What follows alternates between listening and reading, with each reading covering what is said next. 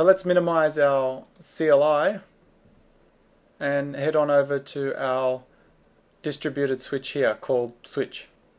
So if we right click on our switch here and click add host, so here we'll select our host.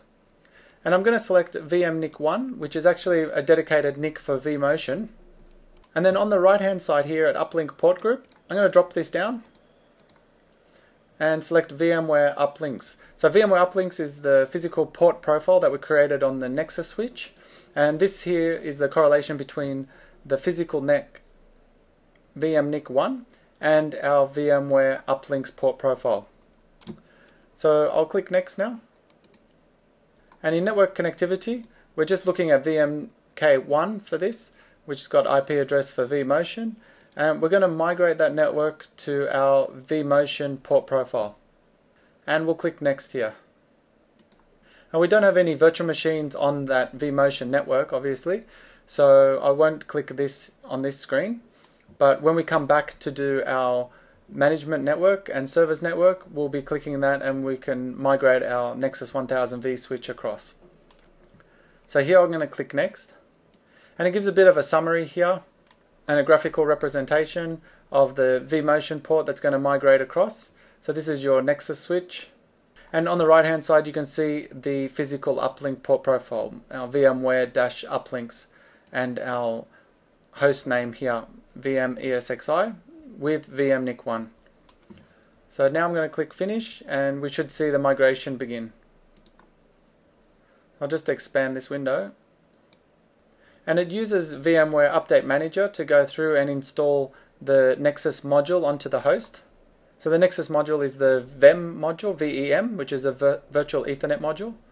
And the virtual Ethernet module works as an extension of the Nexus 1000V.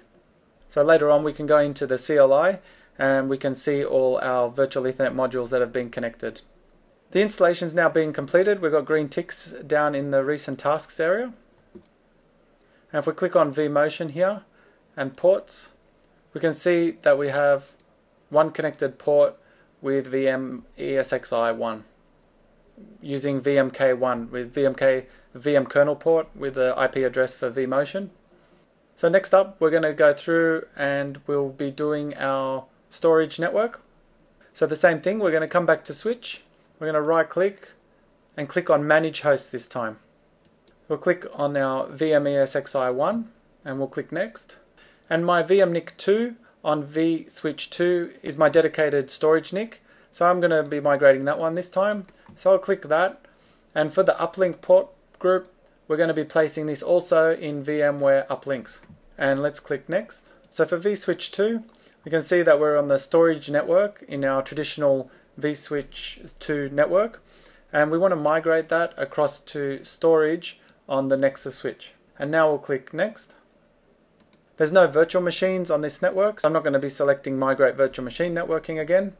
And we'll click next. And as you can see here, the VM kernel port and IP address will be entered here under the storage network and our adapter VMNIC2 on VM ESXi1 will be added into VMware Uplinks port profile. So I'll click Finish. And if we just go back to our hosts and clusters, you can see that our Nexus 1000V is still up and running. Our host is here. If we go to storage, we can see our NFS data store is still up. I can right click, browse. So we're actually using the switching on the Nexus 1000V now and we'll click close. We'll jump back into networking.